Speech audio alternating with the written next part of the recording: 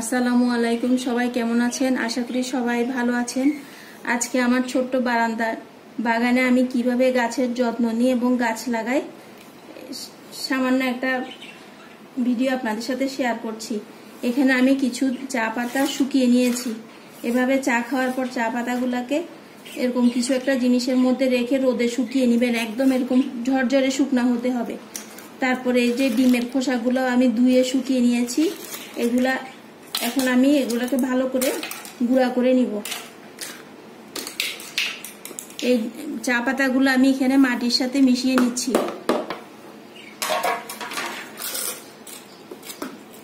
এভাবে ডিমকে ডিমকে এভাবে গুঁড়া করে নেবেন, গুঁড়া করে মাটির সাথে মিশিয়ে দিবেন। এটা খুব ভালো সার হয়, গাছের জন্য খুবই ভালো। আমার ছোট একটা বারান্দায় গেস্ট রুমের সাথে ছোট্ট বারান্দা। বারান্দাতে আমি অনেক রকমের গাছ লাগিয়েছি। এখন ওখানে আমি আবার একটা টবে নতুন করে কিছু গাছ লাগাবো। তাই এই মাটিটা আমি প্রস্তুত করছি। এই যে এভাবে মিশিয়ে দিবেন। এভাবে এখানে আমি চা পাতা, মাটির সাথে চা পাতা এবং ডিমের খোসা মিশিয়ে দিয়েছি। এভাবে আপনারা এগুলো যে কোনো গাছের গোড়ায়ও দিতে পারেন বা নতুন করে গাছ লাগানোর ক্ষেত্রেও এভাবে মাটি মিশিয়ে নিতে পারেন।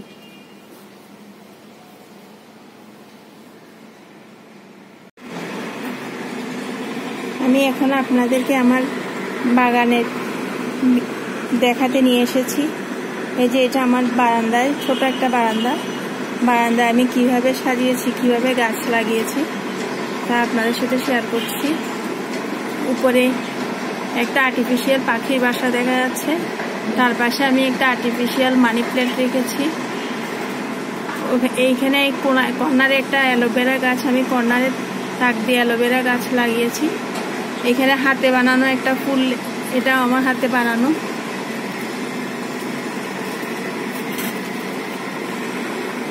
তারপরে এই যে গাছগুলো আপনাদেরকে একটু দেখিয়ে দিচ্ছি।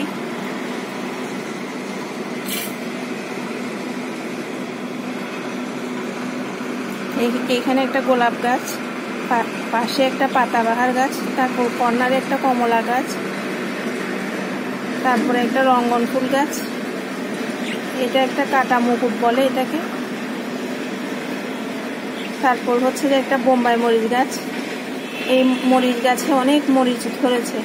তারপরে এদিকে আছে দুইটা গাঁদা ফুল গাছ। এই গাছটাতে অনেক পরিমাণ ফুল ধরে। সব সময় ধরে না দুই তিন মাস পর পর খুব সুন্দর করে ফুল ফুটে লাল হয়ে যায়। পাশে একটা পাতাবাহার। এখানে আমি দুইটা বাজরিগড় পাখি রেখেছি। দিনের বেলা বারান্দায় বের করে দিই, রাতের বেলা ঘরে ঢুকিয়ে নিই, কারণ এখন তো একটু ঠান্ডা পড়ছে, ওদের একটুতেই ঠান্ডা লেগে যায়।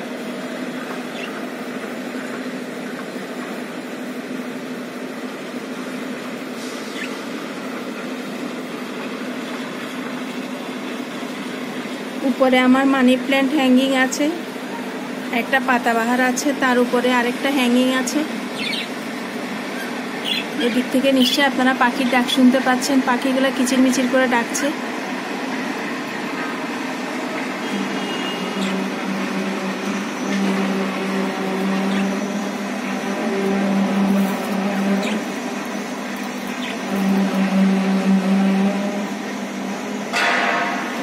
ছিল আমার বাগানের ভিডিও। আমি এখানে গাছের গোড়ায় পাথর দিয়ে সাজিয়েছি যাতে বালি না উড়ে। প্রত্যেকটা গাছের গোড়ায় আমি পাথর দিয়ে দিয়েছি। আপনারাও চাইলে আপনাদের ছোট বারান্দাকে এভাবে সাজিয়ে রাখতে পারেন। মাঝে মাঝে এসে বারান্দায় বসতে পারেন। এখানে সুন্দরভাবে বসা যায়। বারান্দাটা খুবই ছোট, কিন্তু আমি পরিষ্কার পরিচ্ছন্ন করে সাজিয়ে রাখি, তাই দেখতে ভালো লাগে। আপনাদের কাছে কেমন লাগল?